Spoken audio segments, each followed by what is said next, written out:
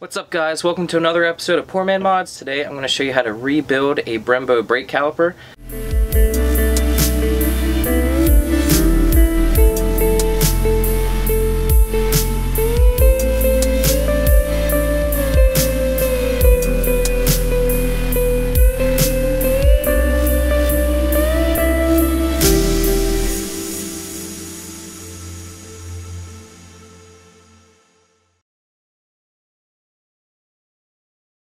Now these are 2000 Mercedes S500 brake calipers that I'm putting on my 1988 Toyota Supra. And it's actually a direct bolt-on upgrade. So uh, I got these for really really cheap actually off eBay. I got both of them for a combined total of $90 yes $90 for two Brembo brake calipers.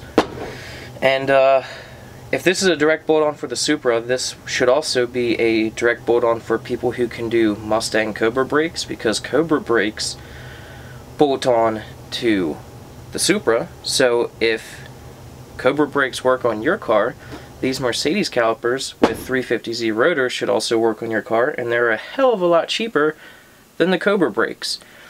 So with that being said, um, I have a non-rebuilt black one that isn't powder coated either. I'm going to show you how to take that caliper apart and once it's completely apart with this one I'm going to show you how to install all the new seals, pistons and whatnot.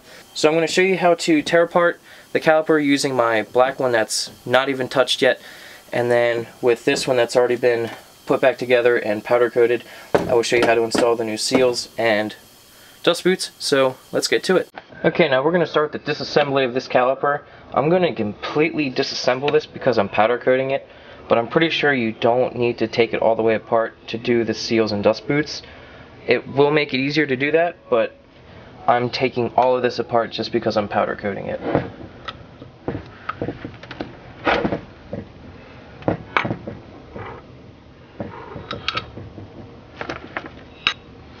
And brake fluid will go everywhere when you do this.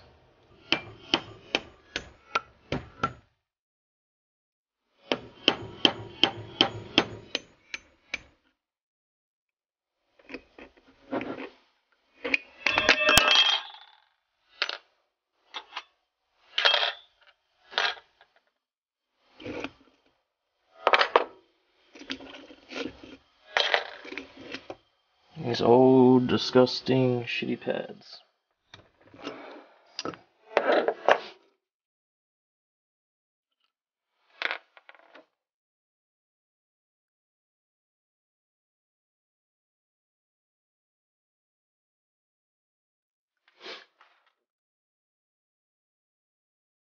Now this is the hard part. I don't know, at least it was on the other caliper. I don't know if they use like an anti-seize what the fuck is that? There's a rubber thing in these pistons? What the fuck is that? It fell out. I'm kind of scared. I'm terrified right now. But anyway, when I tried to take these bolts off the other caliper, I needed to put a wrench on this Allen key because it was so freaking tight.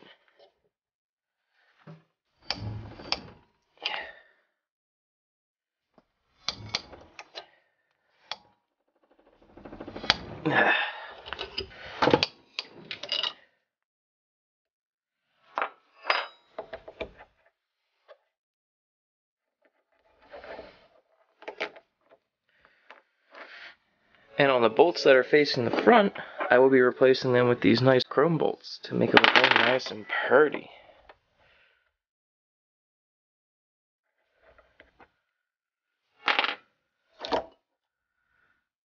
And this comes right off, and there is part of your caliper.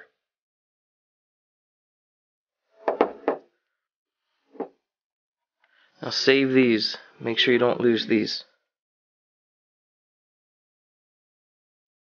There are these also very tiny O-rings right here and right here.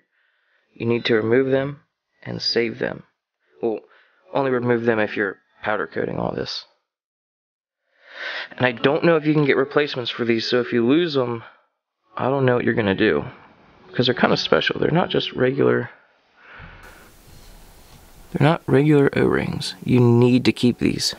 And now we'll flip this over and do the same exact thing.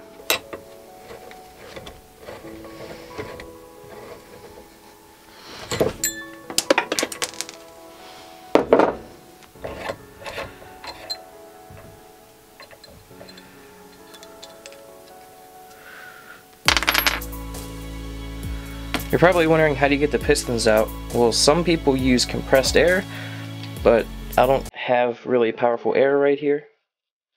What the hell is this stuff? I've never seen this. It's like from Alien. What the fuck is that? Look at this. What the hell is that? That is straight out of the movie Alien.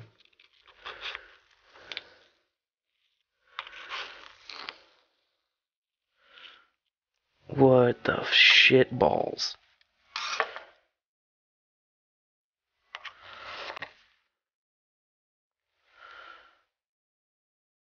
What the fuck is that?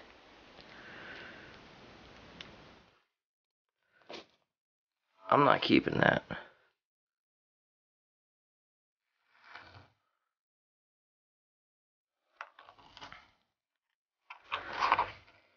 Am I gonna die? I'm dead. I'm so dead. To get all these out, basically you just destroy the seal. There should be a notch somewhere to where you can get under the seal and pull it out. And this one actually didn't rip, but when I did the other one, every single dust boot ripped.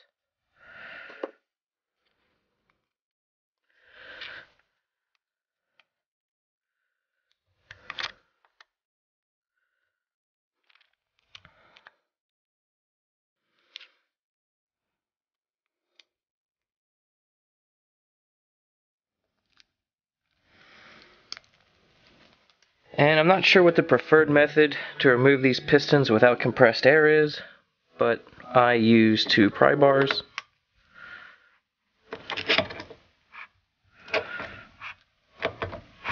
Just be careful not to break the piston. If you do, I'm not sure if you can buy a replacement, but these calipers are so cheap. It does like if these calipers are so cheap, even if you break the piston, you can just buy another caliper. Here we go, found a set of snap ring pliers. Look at that.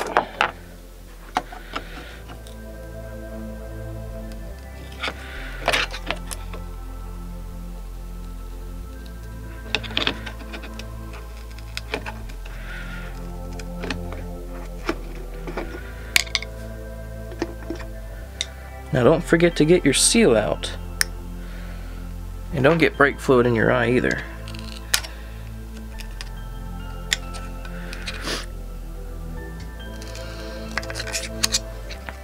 That is how you completely disassemble a Brembo brake caliper. And now with my kind of powder coated red one, I will show you how to put it all back together. Okay, so to install the new stuff, you need brake fluid. So we're going to pour brake fluid in this paint cap. I'm using this because brake fluid is pretty nasty stuff and whatever you pour it in it's probably going to ruin it so I don't want to ruin a nice cup or anything. Here is our seal kit. This is a factory replacement seal kit. Now these are Mercedes S500 brake calipers so I just bought the replace or so I just bought the rebuild kit for the S500. I didn't go to Brembo for this. And first thing that you do, you can see there are two different things in this package. This is the dust boot and this is the seal. Okay, so for this piston, there's actually two different sized ones. The this one over here is bigger than this one. So you have to get the correct piston and seal and dust boot for that one. This one is the bigger one, so we're gonna do that first. Get the big one all lubed up.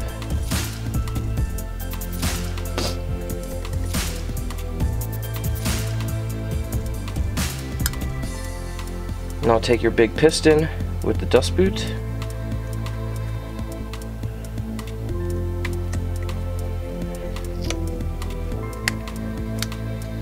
Make sure the dust boot is seated.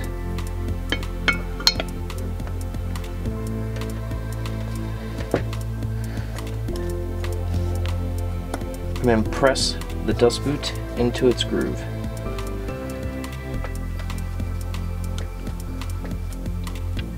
Now we take the little piston with the little seal and do the same exact thing. Lube up the seal, and then you can set it in this groove right there.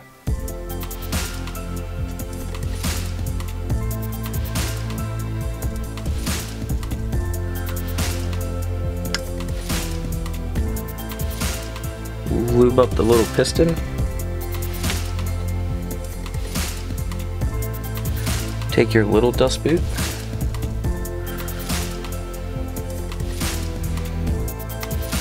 Put it on the piston. Slide the piston in.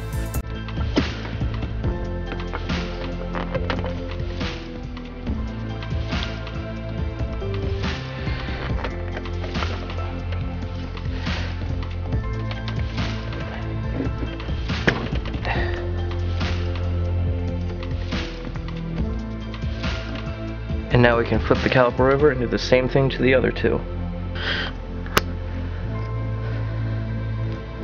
Alright guys, so there you go. That's how you rebuild a Brembo brake caliper. It's kind of easy. Um, the parts are pretty cheap, but it's pretty messy. Brake fluid gets everywhere. Grease and grime gets everywhere. You don't have to take it completely apart like I did. You can leave it just like this. I don't believe you have to take it apart. I just did it because I kind of powder coated it. I didn't sandblast it, so it didn't turn out the best. But uh, it's more red than it is black, so that's all that matters. So, that's how you rebuild a Brembo brake caliper. Hope you enjoyed this video, hope you learned something, and I will see you guys next time.